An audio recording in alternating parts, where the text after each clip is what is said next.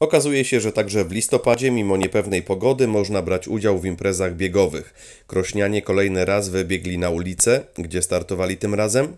W sobotę 6 listopada w szóstym RS Temple maratonie Świdnica wystartowali Kacper Witlicki i Sławomir Pawlak. Zawody ukończyli odpowiednio na 1008 i 1009 miejscu.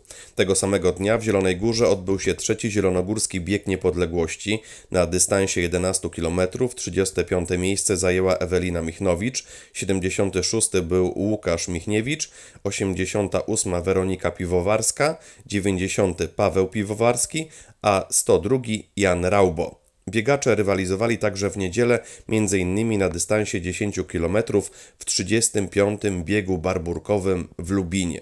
Wśród mężczyzn czwarte miejsce zajął Jacek Stadnik, 327 Melchior Opielewicz, 381 Mirosław Antkowiak, 409 był Tomasz Rogowski, natomiast wśród kobiet 21 była Ewelina Michnowicz, a 83 Katarzyna Mazur.